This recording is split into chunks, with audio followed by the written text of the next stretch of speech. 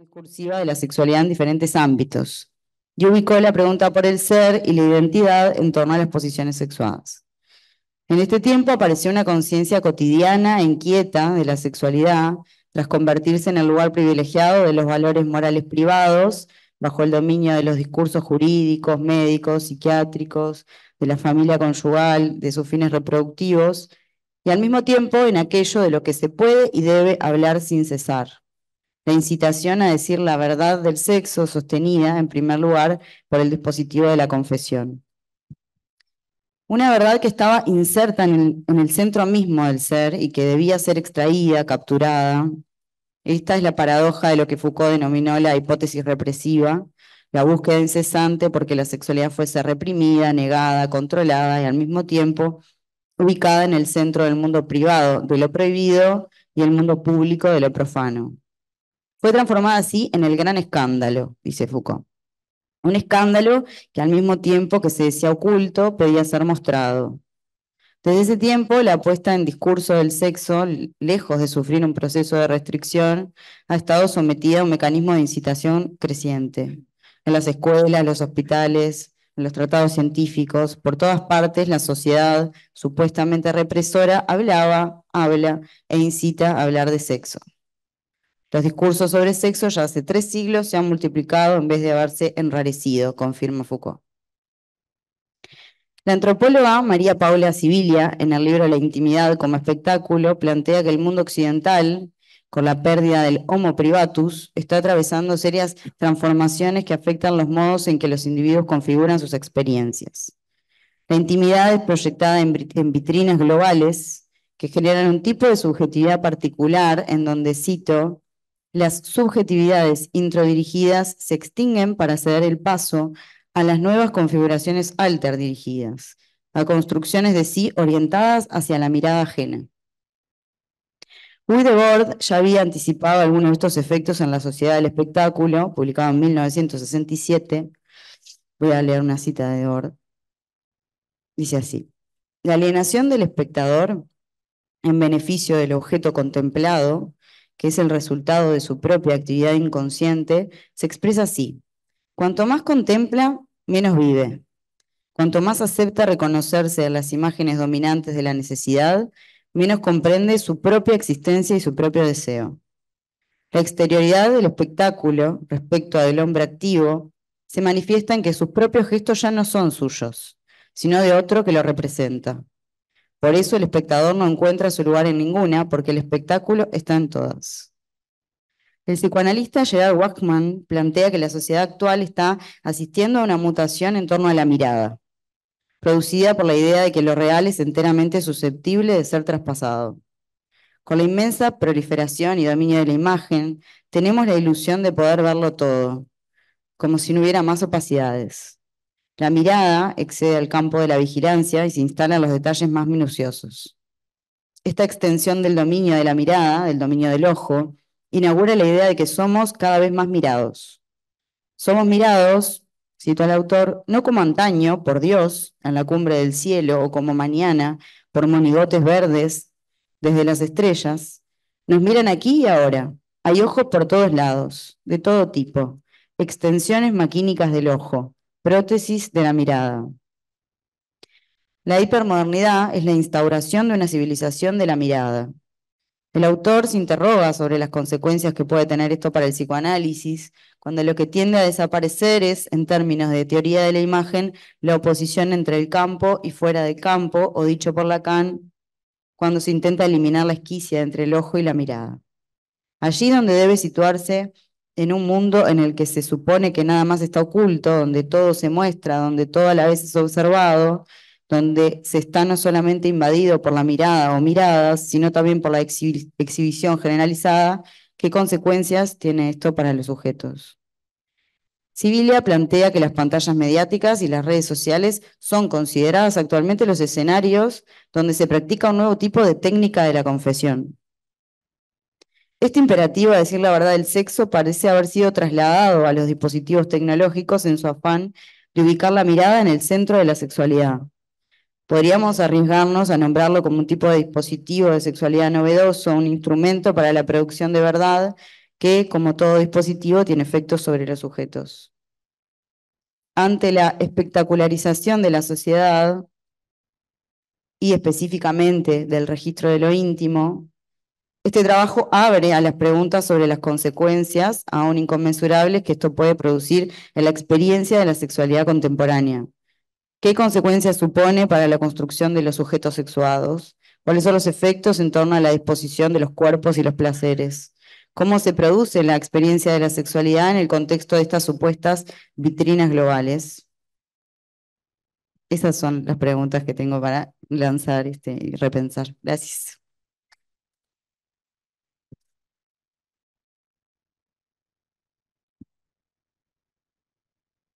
Para terminar la presentación de esta mesa, vamos a escuchar Marcelo Albores, analista de información en la APU. Su trabajo se titula Enredo de apps a la luz del psicoanálisis. Buenos días, ¿escuchan bien? Saludos también a los que están mirando a través de la pantalla, que es una imagen muy potente para lo que estamos hablando. Bueno, la sociedad actual tiene características peculiares que la diferencian de sus predecesoras en cuanto a sus manifestaciones de producción y tecnológicas, pero también se asemejan a estadios pasados, principalmente porque en cuanto a los factores humanos, el sufrimiento y la monstruosidad, parece encontrar una constante de un devenir complejizante que hackea las puertas de la psicología y del psicoanálisis, obligando a una reflexión permanente de nuestras prácticas. Pensar la relevancia de la socialización, de contacto humano y humanizante, con sus identificaciones parciales y ambivalentes, eh, o con el concepto de grupo plegado, ¿no? los pliegues de la fuera de adentro, al día de hoy se puede dimensionar a través de una socialización virtual, digital o remota, o el concepto heredado de burbujas que se acuñó en la pandemia y matrizó nuestras vidas desde el 2020 en adelante y aún esos coletazos siguen vigentes como para pensar en la actualidad y en nuestro entorno.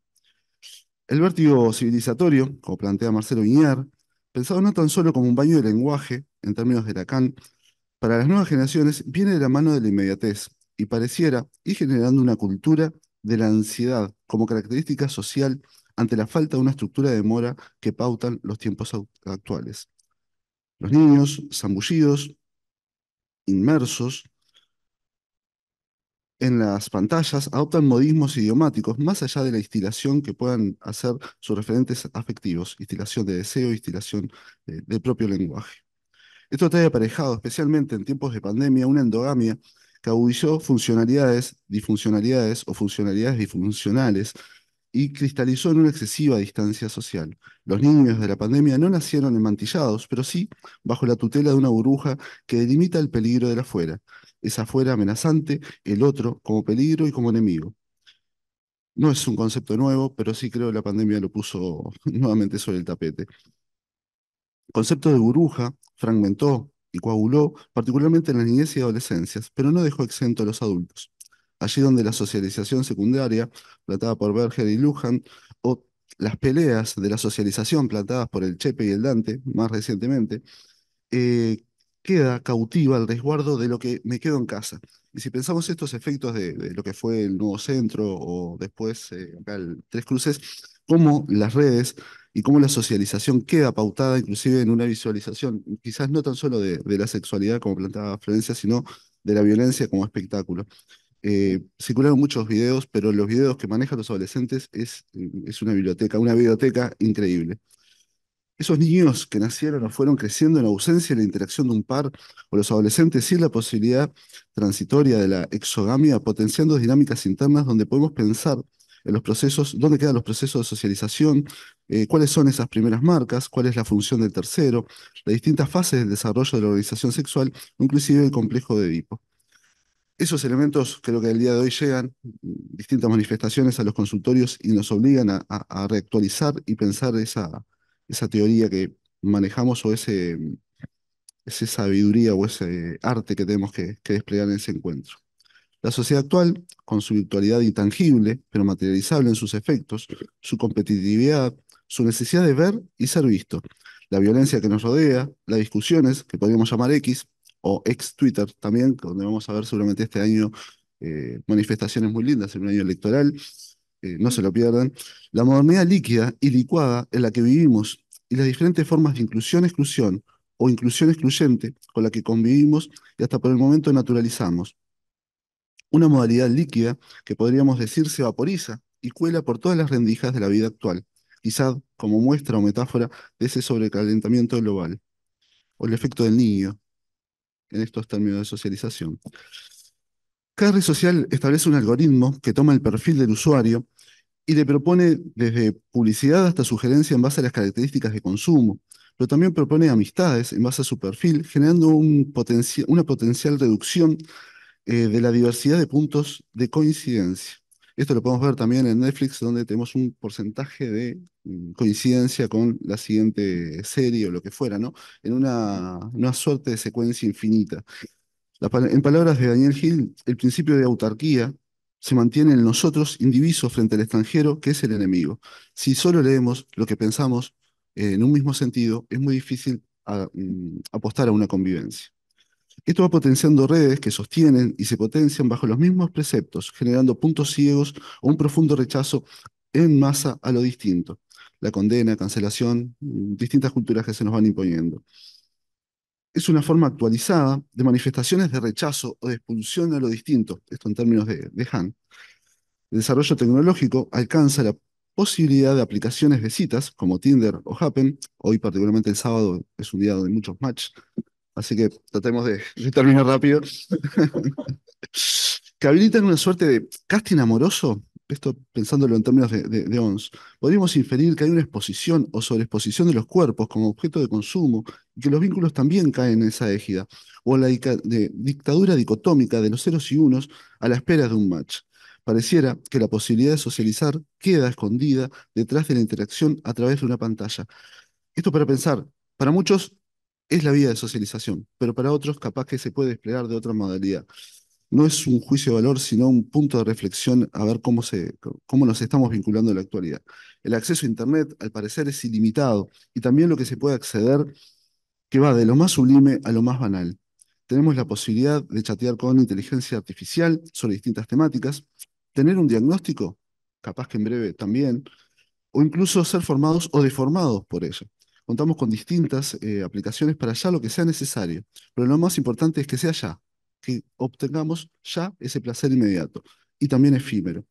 Dentro de las posibilidades que brindan las tecnologías de la información y comunicación, van hasta los territorios más altos del psicoanálisis, con la posibilidad de análisis remotos como punto de quiebre de un encuadre con más de un siglo de vida. La pandemia presionó para su instauración y al día de hoy es una realidad a problematizar que nos cuestiona y cuestiona el hacer psicoanalítico. Pensar el encuadre interno o las posibilidades y tensiones que nos brindan las redes y aplicaciones será un debate que habrá que dar. En esa línea juega la ciencia el desarrollo de la medicina en busca inclusive del secreto de la eterna juventud en una sociedad dolentizada. ¿Qué efectos vamos encontrando en nuestros analizantes, niños, adolescentes, adultos? ¿Cómo se ve interpelada la teoría con la invasión de las tecnologías? Como analistas, ¿qué pensamos y elaboramos sobre este intrépido comienzo de siglo? Preguntas que invitan a reflexión e intercambio necesario para la vigencia del psicoanálisis y para superar las resistencias propias de los psicoanalistas. La tecnología, la hiperconectividad que tanto nos separaba pre-pandemia, terminó siendo una valiosa herramienta promovida durante los tiempos del confinamiento o distanciamiento social. Nuestras prácticas se vieron cuestionadas y nuestro encuadre mutó también al dispositivo en dos dimensiones, en donde el cuerpo de erógeno dónde queda. Pero ello también nos permitió sostener nuestro oficio, nuestro arte, también procesos de aprendizaje y los paradójicos efectos de redes que también eh, ayudaban a la contención social. Uno de los aportes de este escenario era el de organizar una jornada que parecía un eterno fin de semana. Esto lo trajo un niño, dice mm, en una institución educativa, ¿qué fin de semana tan largo fue este en el periodo de pandemia? Un niño de jardín eh, puede estar en contacto con otros, el poder interactuar, apelando al viejo concepto de salud de Freud, ¿no? Una persona sana es aquella capaz de, trabajar y de amar. Bueno, capaz que algo de eso nos permitió. Sana dentro de una campana generosa de Gauss, ¿no? Eh, que estemos lo más próximo posible es lo, deseable. En esos tiempos, eh, lo que hace también a estos tiempos el ocio y la recreación tomó un lugar privilegiado, las plataformas de juego y, y streaming.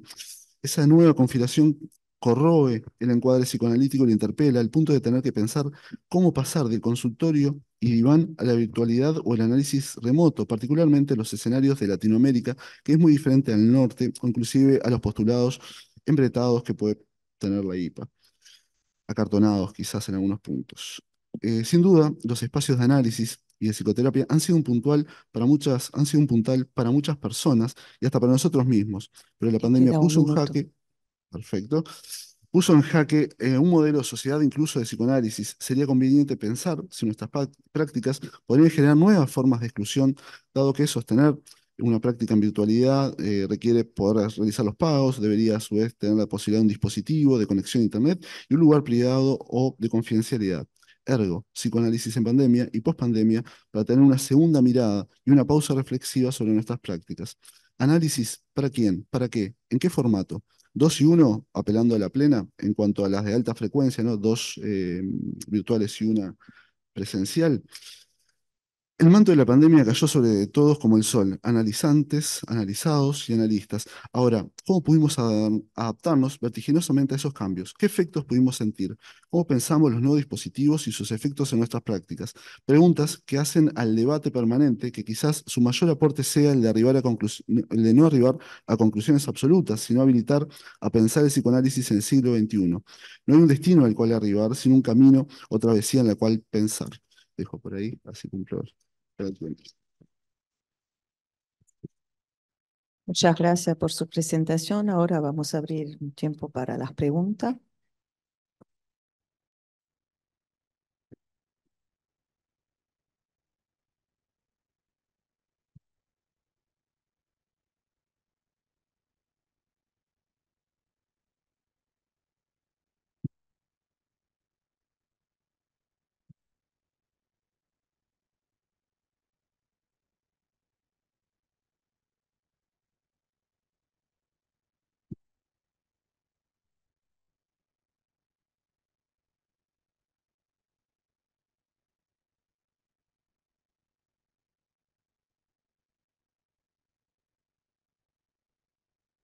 Claridad positiva.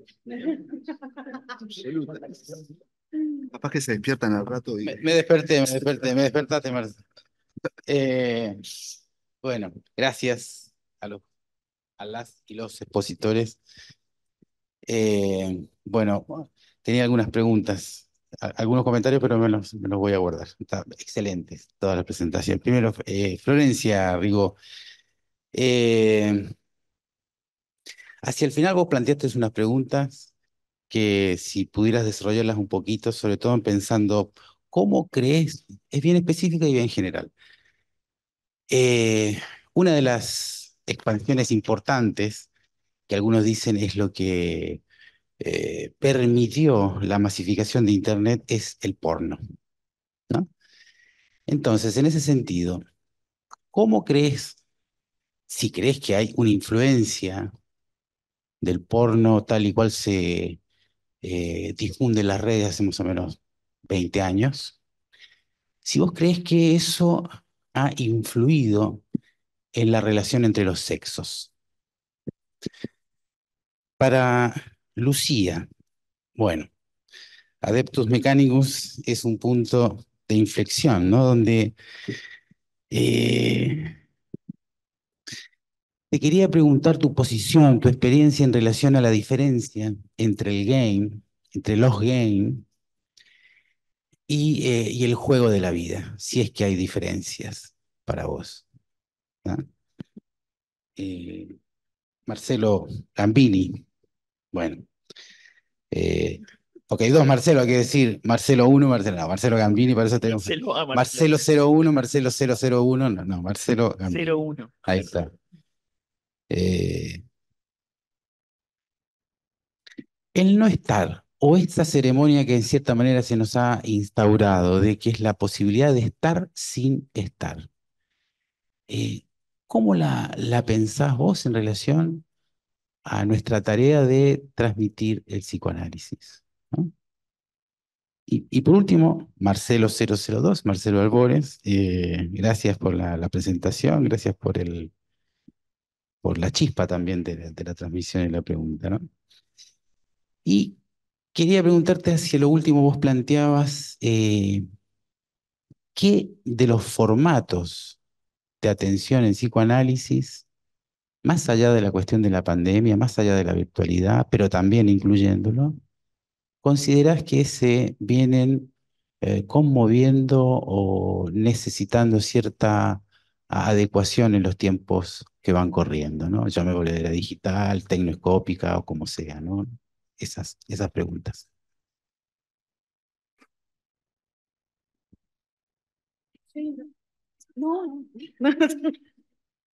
Hola, este, bueno, sobre la pornografía. En realidad no, no es algo que tenga trabajado. Eh, lo que voy a responder me, me parece que eh, tiene más que ver con, una postura en, relación a como esto de, la cultura patriarcal criticando cierta lógica en relación a, a, la pornografía que ha este, permeado las sexualidades, ¿no? Este, eh, desde que ha aparecido, que ha mostrado como una manera hegemónica o, ¿no? de hacer las cosas que, que, también ha sido como, bueno, una mirada muy este, patriarcal o dominante, ¿no? Esa ha sido una crítica que se le ha hecho.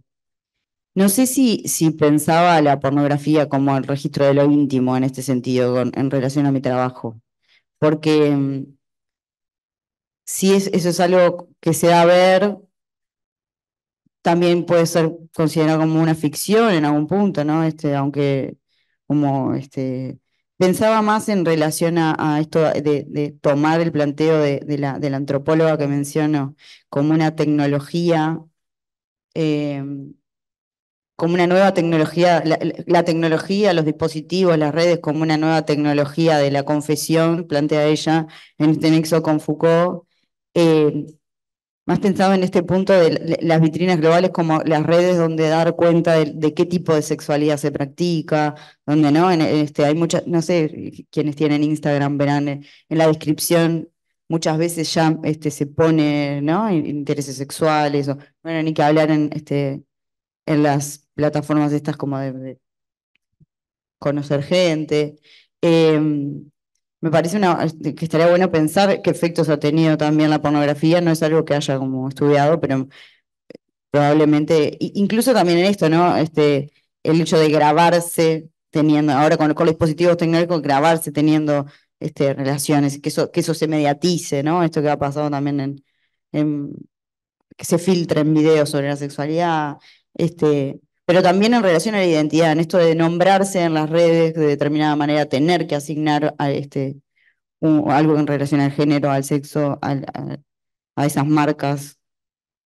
Un poco por ahí, no, no tengo más preguntas, pero más que respuestas, ¿no? Bueno, este, es muy varico la, pregunta, pero muy varico. Pero bueno, no importa. Este, eh, no la voy a contestar con varico, la voy a contestar con una cosa. Hay dos tipos de juegos, los juegos que nos involucran personalmente y los que no. No es lo mismo matarte en Fortnite que en Tinder. No es lo mismo. Es lo mismo, pero no. Eh, lo divertido de los juegos es que te podés morir, pero vas a resucitar. En la vida no.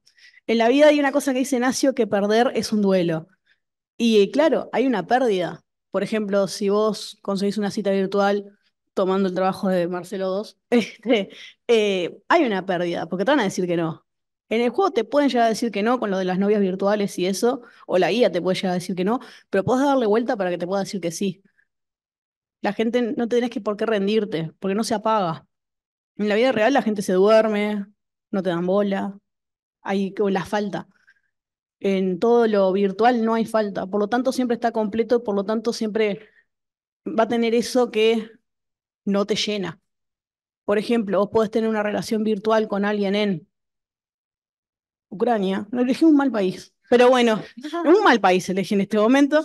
Este, un mal país, no importa. Este, Estados Unidos, está, mejoró. Em, pero claro, va a haber un montón de cosas que no van a estar. No van a estar en juego. No va a estar en juego el cuerpo. Y creo que en ese punto eh, a pesar de que haya realidad virtual y todo lo que fue lo de los eh, lentes de Apple, como que la gente se mareaba y todo, cuando se pone en juego el cuerpo la gente ya no quiere.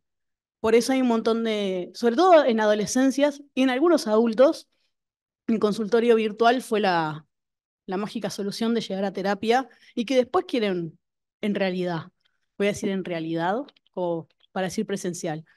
Eh, claro, lo real cuando se juega es lo que llega al consultorio. Es como pasó esto, pero yo no sé qué me está pasando, pero algo me está pasando. Entonces, ahí es cuando se, eh, la persona se quiebra y llega. Me fue un poco, pero más o menos, ¿está, bien? Está. Marcelo 1. Qué pregunta que hiciste, Octavio. Este, puedo tener un mes para responder. Este, me parece una pregunta súper pertinente. No puedo responder quizás de la manera más inteligente en dos minutos, pero este, intentaré esbozar algo. Em, para mí no es posible pensar el estar si no es en relación al espacio y al tiempo. Pensar el estar sin una relación, sin, sin involucrar una dimensión espacio-temporal, a mí personalmente me cuesta mucho. Ahora, ese estar no puede ser sin que algo no esté, porque todo estar tiene un límite, como dijo, límite horario, límite temporal, límite de lo que se dice lo que no se dice, el afecto que se expresa, algo que no se expresa, digo que estoy bien, pero al decir estoy bien no estoy diciendo que estoy mal, o sea, siempre hay, un, algo de lo que no se presenta. Aún así, en el, lugar del analista, para el analizante también hay algo que no se presenta. Entonces, en ese sentido, me es, difícil no pensarlo de manera dialéctica como es la costumbre y, no pensar que en realidad toda dimensión de estar implica en algún punto que algo no esté. Ahora, eso no significa que la posición del analista sea un no estar que es otra cosa.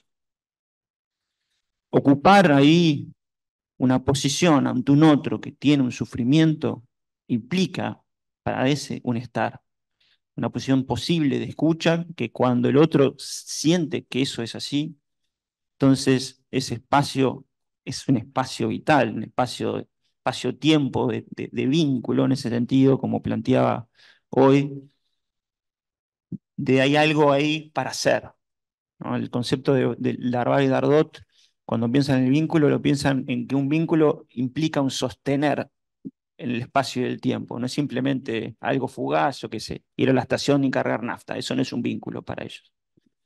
Salvo que yo vaya siempre a la misma estación y me atienda a las mismas personas, bueno, ahí se puede componer un vínculo, pero si no, si es, no sé, voy hasta Rocha y alguien me cargó nafta y nunca más lo vi, eso no sería un vínculo para ellos.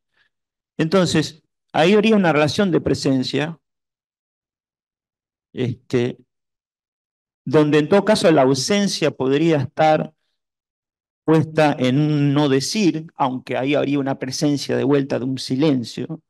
Entonces, a mí en lo personal me cuesta pensar en ausencias absolutas o, presencias absolutas. O sea, creo que hay ausencias relativas y presencias relativas y hay situaciones de mayor presencia o mayor ausencia. Habría que ver bien de qué situación específica para pensarlo mejor, porque la dimensión del espacio no requiere de una dimensión física en el sentido de estar en un lugar en mi consultorio. El espacio virtual ha demostrado, bueno, eso se sabía de antes, ¿no? De que el espacio virtual se conceptualizara, que el espacio está primero acá antes que afuera. Eso ya, bueno, Kant, los, idealistas ya habían, se habían dado cuenta hace bastante rato de que el espacio es una, algo a priori no, no es necesariamente exterior. Y en ese sentido, bueno, uno puede tener un lazo ahí con alguien que, que quiera trabajar sobre pensar y analizar qué le ocurre. Por ahí diría. Seguramente no te estoy pudiendo responder lo que, lo que estás preguntando, pero por lo menos me acerco. La distribución entre Marcelo 1 y 2 es cronológica, supongo. Yo tengo de 75. Claramente cronológica. Sí, la pregunta es bastante incómoda porque pensar los tiempos y pensar los formatos de atención eh, en psicoanálisis y pensar un encuadre que de alguna forma eh, une, separa, cuida, eh, es complejo. Capaz que lo reduzco al tema del tiempo y lo ato un poquito a los, a las distintas respuestas que fueron dando, ¿no? En psicoanálisis se trata de un tiempo sin tiempo, ¿no? Una temporalidad del inconsciente. Nos encontramos en tiempos vertiginosos, de sumamente cambios, entonces establecer una pausa parece ser el acierto del psicoanálisis. Es una pausa particular porque hay una escucha exclusiva. No estoy con el celular, eh, no estoy con la pantalla de fondo, sino hay un encuentro donde, con la atención flotante, hay una escucha de exclusiva, y muchas veces eso es lo que recalcan los, los eh, analizantes, ¿no? También hay una pausa en su vida, y ahí entra la sesión como una cuña que rompe la rutina. Rompe e incomoda la rutina. Yo entro, no sé, a las 8, no sé, llevo a los gurises, entro a las 8, voy al laburo, de distintas posibilidades de trabajo, y después, a las 5, a las 6, a las 3, hay algo que me rompe los cocos, que es ir a pensarme a mí mismo, que es el espacio de análisis. Y hoy, inclusive con, el, con, lo de ¿no? Es como un anestésico. Y ves, el tema de los videojuegos muchas veces en adolescentes es un anestésico. Entro en ese mundo y, salgo de, mis mundos internos, ¿no? Y acá es al contrario, te metes en tu mundo interno y ahí está el incómodo, lo jodido. Y creo que ese es el rol del psicoanálisis. Ser incómodo y jodido y contrapelo a una sociedad y rescatarse de no ser ortopedas sociales. Y esto del tiempo y espacio que también traían otros panelistas, es la ecuación de la velocidad, pero particularmente de una velocidad que tiende a no ser veloz en, términos de, psicoanálisis, ¿no? En dar tiempo, sí, pero una travesía del análisis, en donde va a estar por un lado una neutralidad del, del analista, que es un postulado innegociable, pero sobre todo para compasar los tiempos y las decisiones de la construcción de un proyecto de vida reflexivo que tiene que ver con el analizante. Entonces, capaz que si alguna virtud le cabe al psicoanálisis, es eso de ser una postura incómoda, donde uno se piensa, donde uno se despliega frente a un otro, sobre todo con, los aspectos más jodidos, los aspectos más incómodos de, la vida privada, si, cabe el término de uno. Y ahí entra la postura disruptiva del psicoanálisis. Hay otras formas de hacer psicología y otras formas de psicoterapia, pero capaz que en una respuesta muy sucinta, ahí pasa eh, un poco la esencia de, del análisis.